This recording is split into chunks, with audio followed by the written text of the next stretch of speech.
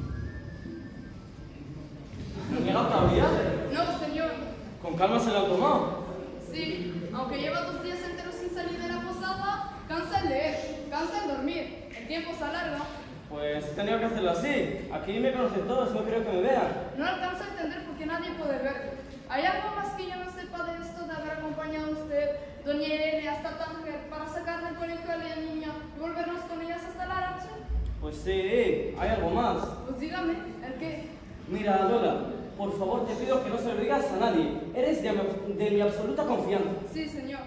Pues verás, es por Paqui. Yo la verdad nunca la he visto en persona, pero según lo que me ha contado su madre, se queda corto. He visto su perfil de Instagram y es una pasada. Sí, está muy bien. ¿Y? está muy bien, es muy guapa, simpática y tan joven y llena de vida. Así que lo que he pensado es... Ya lo veo venir. No tiene ni que decírmelo. No, ¿por qué? Porque ya lo adivino. Me parece la mejor idea. ¿Qué dices? Que me parece que usted va a montar una boda buena, buena, muy buena, sin duda. Sí, lo he pensado mucho y creo que daba en el clavo. Seguro que sí. Pero no quiero que se sepa nada hasta que esté todo hecho.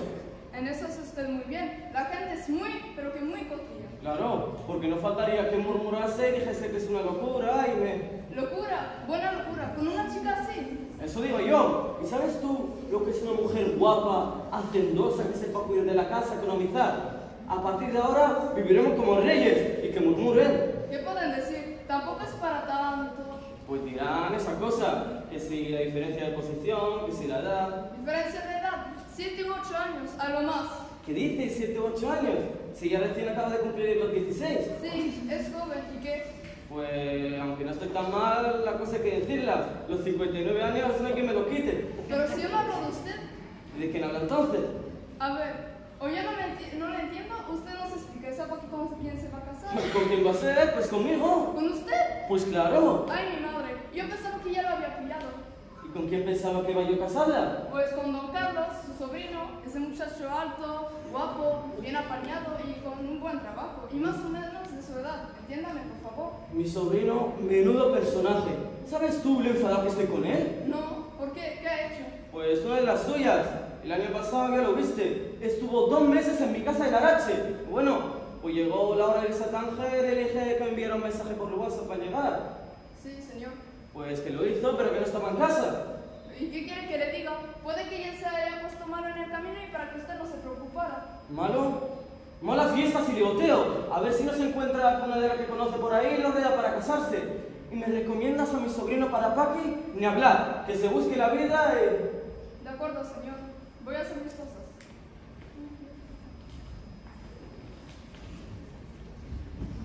Ale, ya hemos llegado. Estoy muertecita. Uy, muy bienvenidas, señoras. Muy buenos días, Diego. ¿Hoy no ha salido usted? No, las estaba esperando. Y después iré a dar una vuelta por ahí.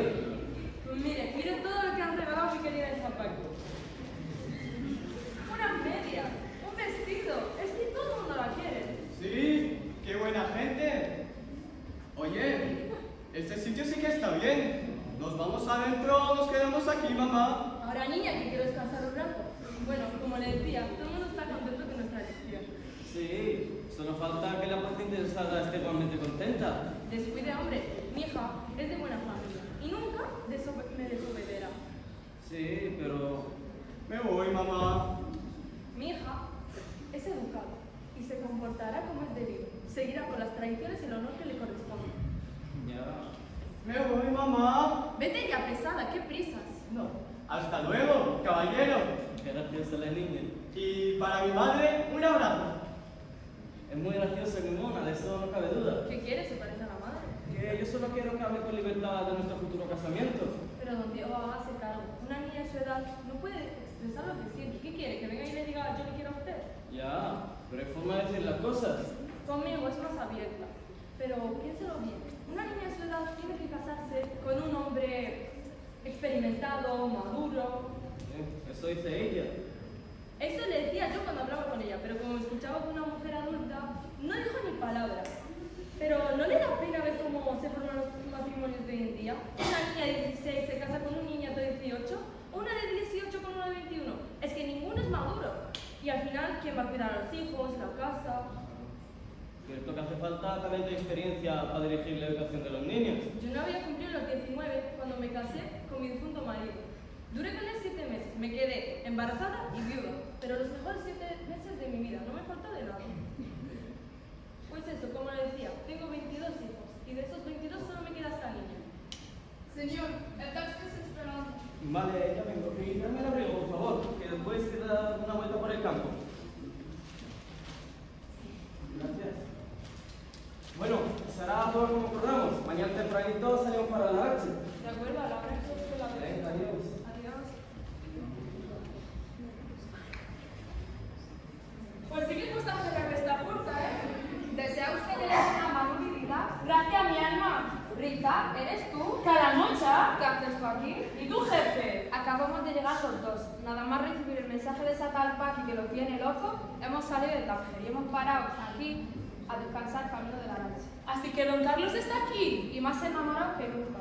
Ay, qué alegría me da escuchar eso. Cuando la señorita se entere, ¿Y tú, con quién estás? ¿Cómo llegaste? ¿Qué? pues estoy con doña Paquita, con doña Irene, con don Diego. Así que el novio está en la posada. Sí, ese de ahí es su cuarto. El de ahí, el de la madre. Y ese, el nuestro. ¿Cómo? El tuyo y el mío, picarona. No, el de la señorita y el mío. Bribona. Talamero. Adiós. Adiós, guapa. ¡Ay, Rita! ¿Qué te pasa? ¿Por qué estás tan disgustada? Estoy desesperada, Rita. Mi madre, empeñada que me case con ese viejo, me ha llamado de todo. Desobediente, inconsciente, porque no miento y no sé fingir. Y a mí ese señor es que no me gusta. ¿Dónde está tu madre? Pues no te lo vas a creer. Llamando a todo el mundo para anunciar nuestra supuesta boda. Y encima dice que Don Diego se queja porque no le digo nada. Bien que trató de parecer contenta, hablarle de temas entretenidos. Pero Es que otra cosa que no me sale de corazón. Vamos, tranquila, venga. ¿Es que usted no se acuerda de don Carlos? Tan guapo. Ay, Rita, si de todo me acuerdo, como para no acordarme. Pero no está aquí y a lo mejor está ahí tonteando con otras. Eso, yo no lo puedo creer. Si está muy coladito por ti. Sí, sí, pero cada días que le mando un mensaje y ni me contesta. ¿Y usted no cree que es porque quiere darle una sorpresa? ¿Cómo? Sí, antes estaba hablando con Calamocha. Ese de ahí es su cuarto. Ver si averiguo algo. Pues tengo que hablar con él ya. En nada más llegue y quiero ver. Vale, tranquila. Cualquier cosa te doy un toque. Venga, vámonos.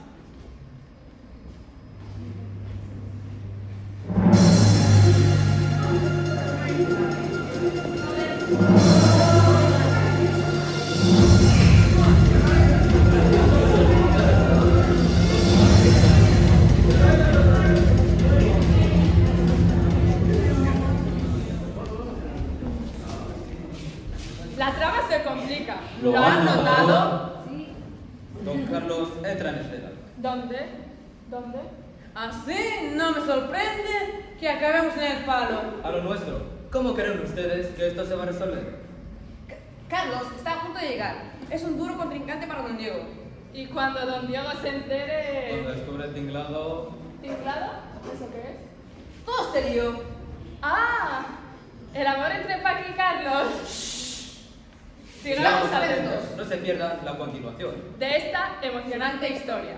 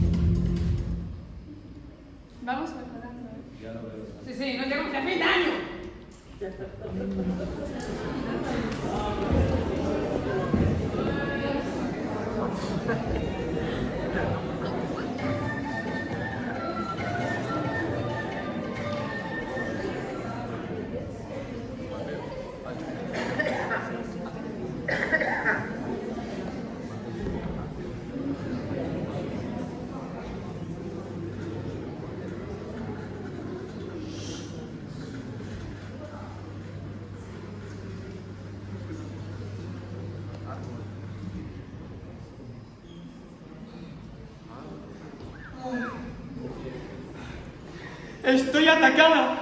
Y dice mi madre que soy una simple, que solo pienso en mis cosas y que no sé lo que es el amor. Bueno, todavía no he cumplido los 16 años, pero sí sé lo que es el amor. ¿Dónde estará Carlos? Solo y a oscuras me has dejado allí. Como estabas con el teléfono, me he venido aquí. ¿Y don Diego ha vuelto ya de paseo? No, mamá. Hija, piensa bien en lo que te he dicho. Don Diego está molesto y con razón. Sí, sí, que ya lo sé, que no me digas más que me estás rayando. ¿Cómo que te estoy rayando? A tu madre no le hables así. Yo te estoy aconsejando. ¿No te das cuenta, hija, que hacer una boda de este estilo es muy difícil? Encontrar un hombre tan maduro, tan adinerado.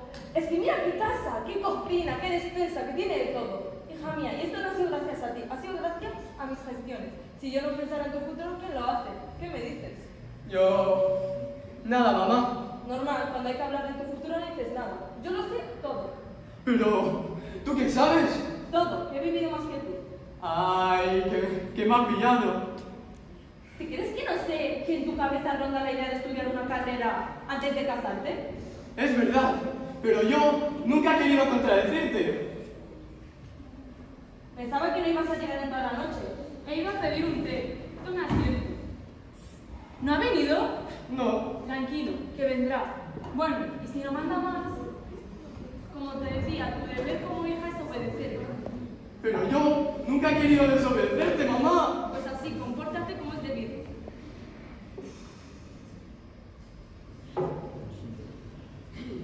¿Ya de vuelta, don Diego? Sí, ¿y ustedes cómo están? Te encuentro algo triste, Paqui. Normal, se acuerdan sus amigas. Aún no sabe lo que quiere, es muy joven. Eso no, precisamente a esa edad las pasiones son más enérgicas y decididas. Ven a Paqui, siéntate aquí.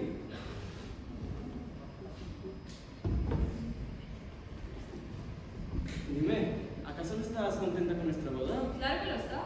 Deje que hable ella, que la chica está preocupada y no se atreve a decir una palabra que usted no quiere que diga. Lo que diga mi madre, diré yo. Es que debe vencer, ¿no es así? En estos temas tan delicados los padres juiciosos no mandan, insinúan, proponen, aconsejan. Tú tienes que hacer lo que sientes, no, no lo que te manden. Cuando ellos se lo ordenen. Pero señora, si no hay nadie, no hay nada de lo que usted pueda preocuparse. Paqui, anda, hija, dile los novios que has tenido para que se tranquilice un poquito. Yo, señora, estoy más tranquilo que usted. Mira, si ustedes se enfadan, yo no tengo nada que decir. Que Yo solo quiero que su hija esté contenta. Y lo está, díselo, anda. Sí, no estoy. ¿Ves? Boda más a gusto que esta no habrá. Bueno, bueno, no insistiré más, que tampoco quiero que nos peleemos. Bueno, iré un momento a mi habitación a descansar. De acuerdo. Venga, adiós. ¿Ves, hija? Comportándote como no es debido, ¿ves? No mostrando interés en tu boda. Me voy a descansar un rato, luego hablamos. Niña, ¡eh! ¡Shh! ¡Niña! ¿Qué quieres? ¿Que ya ha llegado? ¿Cómo? Sí, ya está entrando en el Riyadh.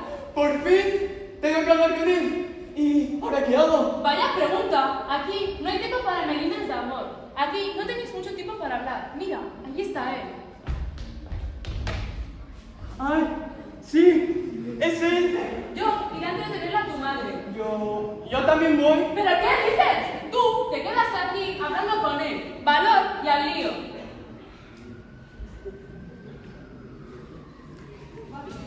Yo estoy aquí. Bienvenido. Bienvenido. ¿Qué te pasa? ¿No te alegras de? Sí, sí. Pero con todo lo que me está sucediendo, si no me espabilo, me casa con ese viejo. Tranquila, todo se va a solucionar. ¿Pero cómo? ¿Que están bien empeñados a que me case con él? Si me llegase a llevar por mi pasión, haría una locura. Pero que quiere celebrar la boda nada más llegar a la noche. Y encima, mi madre no me ha dado otra cosa. Me ha llenado de temor, me amenaza y él me ha ofrecido tantas cosas. ¿Y tú qué? ¿Ya has jurado tu amor? ¡Idiota! ¿Tú no sabes lo que quiero? Ya lo sé, he sido tu primer amor. ¿El último? Mira, si mañana te vas a la Arache y yo me voy tanto, tu madre se va a enterar. Tengo un tío ahí que es muy rico y tiene mucho dinero. Pero, ¿a mí qué me importa todo el oro, el oro del mundo? Lo sé, pero tenemos que esperar para mañana y actuar con prudencia. Solo confía en mí. Si yo confío, estando aquí, demuestras lo mucho que me quieres. Ya lo sé, Paqui, pero tenemos que esperar hasta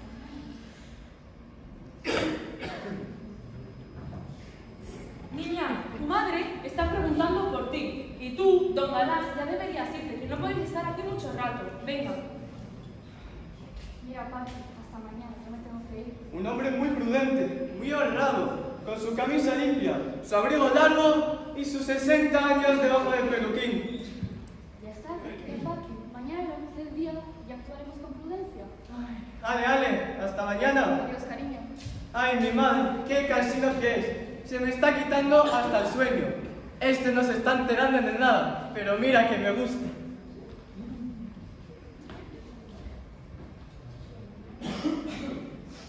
Hostia, si es mi tío. Saliendo del cuarto de mi rival.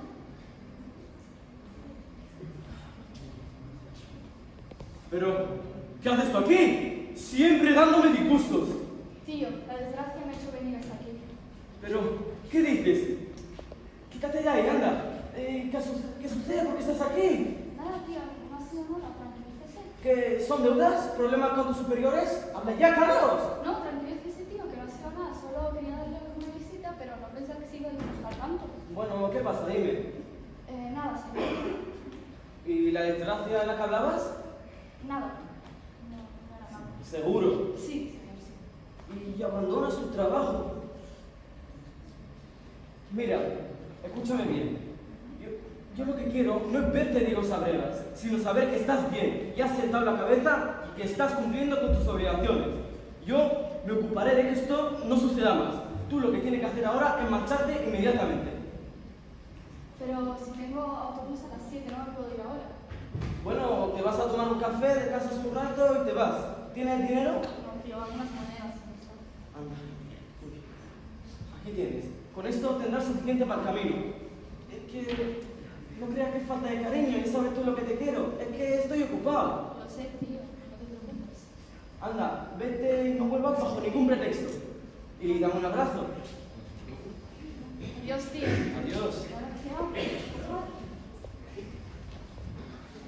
Bastante bien se lo ha tomado, hijo de mi vida, pero no podía dejar que se enterara la noticia. Que lo sepa ya cuando esté todo hecho, cuando ya nos hayamos casado.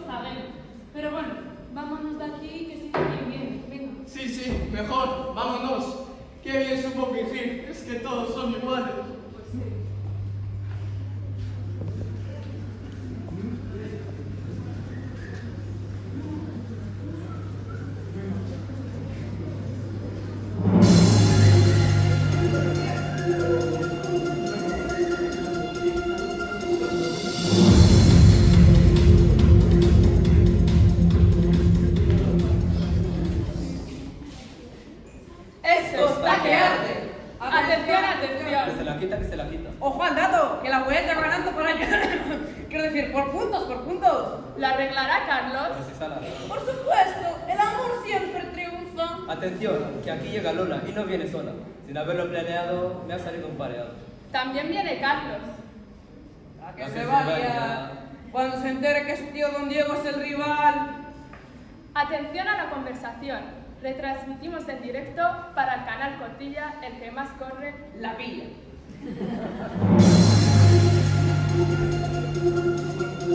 Nada,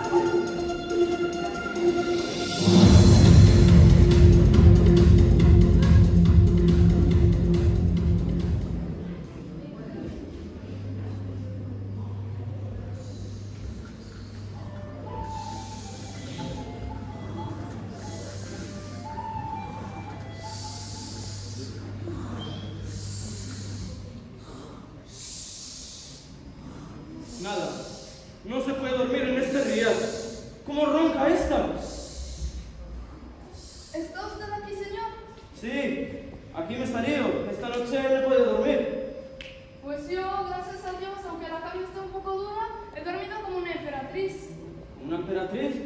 Mala comparación. Di que has dormido como un pobre hombre que no tiene ni dinero, ni ambiciones, ni pesadumbre, ni remordimientos. Así es, señor. ¿Y qué hora será ya? Pues será a las tres. Ah, bueno, entonces su sobrino ya habrá cogido el camino de vuelta. Sí, eso me ha prometido y espero que lo haga. ¿Está sonando? No sé, gente que pasa por la calle. Calla. ¿Y quién será el infeliz que viene a rondar a estas horas? Apuesto que será algún enamorado de la moza de la posada. Puede ser, señor.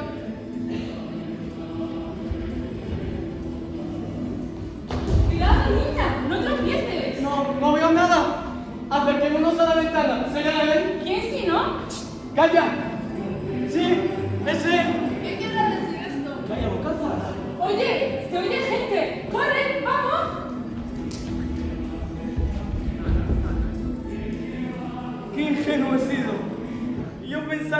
Chica tan joven pudiese amarme a mis 59 años. Y con mi sobrino. Caprichos del destino. Pero, ¿de quién es la culpa? Suya, que son jóvenes y responden a su naturaleza amándose. O de su madre, que interesada en un matrimonio de conveniencia. O incluso mía, engañándome con un imposible. Bueno, encontraremos solución a este asunto. Mira, se han salido, llámales y que vuelvan.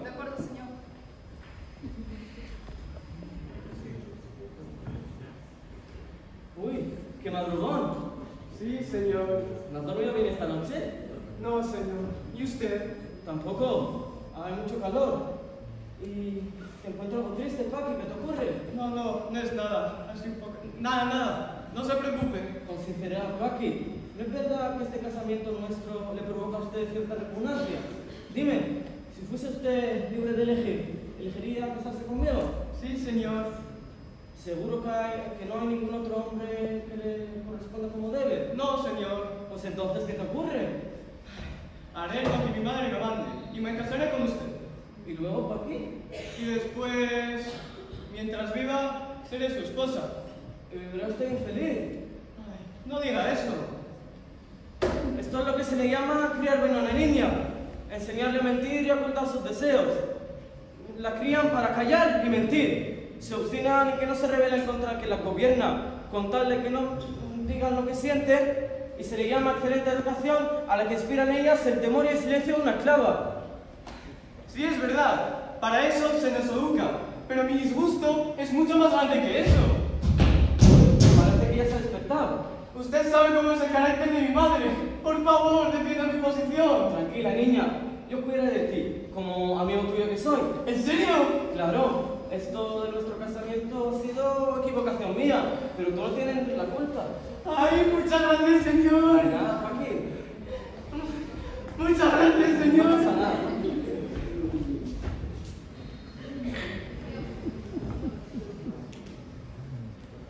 Señor, el tal ya ha llegado. Le dije que no entrara hasta que no le avisara. ¿Y qué dijo cuando le dijiste que quería verle? Pues ni una palabra, muertecito bien. Hasta me da pena verla así. Bueno, bueno, nada de pena, que es sujeta. Bueno, como yo no sé lo que ha hecho. Pues ni falta que te hace. Anda, llámale y dile que entre. Sí, señor. Ven aquí. ¿Dónde has estado desde que no nos vemos? En el fondo afuera. Y no has salido toda la noche, ¿eh? ¿Y a qué? Si se puede saber. Tenía que hacer algunos compromisos con su jefe. Pero a las 3 de la mañana me parece excesivo. ¿No podía usted haberle llamado antes? ¿O enviarle un mensaje? Así evitas hacerle trasnochar y no molestar a nadie, como los que le mandas a Paqui. Pues si ya lo sabe usted, ¿para qué quiero mirar de vida? Porque quiero que me digas tú mismo de lo que está pasando aquí. Pero si ya lo sabe, ¿Y por qué has venido, eh? Dime. para consolarme y curarle mi gran amor.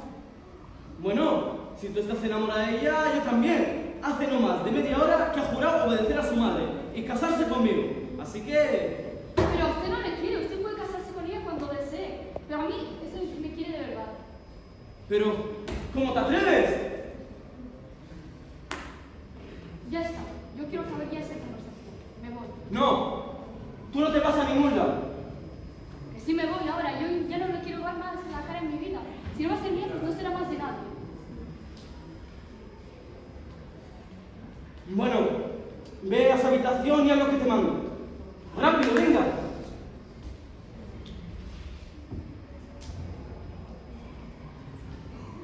Buenos días, don Diego. ¿Es hora de salir? ¿Alguna novedad? Pues sí, señora. Dígame. Venga, siéntese. No se asuste usted de lo que voy a contarle. Ahí va. Su hija está enamorada. Pero no se lo he dicho yo mil veces, está loca por usted. Qué manía por interrumpir a cada paso. ¿Podría dejarme usted hablar? ¿Hable? Pues que está enamorada, pero que no está enamorada de mí. Eso es imposible. ¿Pero cómo es eso posible? Mi hija no puede haber hecho eso. Es que usted me ve viuda y sola y me desprecia. Ha visto a la niña, no la ha gustado y no quiere casarse con ella. Teníamos un compromiso. Pues lo que oye. Es que no me lo esperaba de usted. Si vivieran mis tres maridos, si vivieran mismo, que vaya carácter que tenía, te ibas a enterar. Mira, señora, se me está acabando la paciencia. ¿Dirías? Pero podría dejarme hablar al menos. Que no tengo ni un pelo de tonta. Que sé que no le ha gustado a la niña y quiere deshacerse de ella. Mira usted, señora doña Irene.